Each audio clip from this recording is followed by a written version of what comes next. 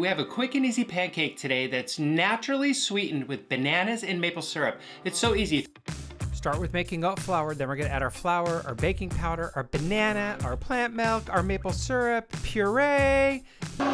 Heat a saute pan, add the batter, flip the pancake, and then we have pancakes one, two, three, four. Smother it with the maple syrup and the blueberry compote.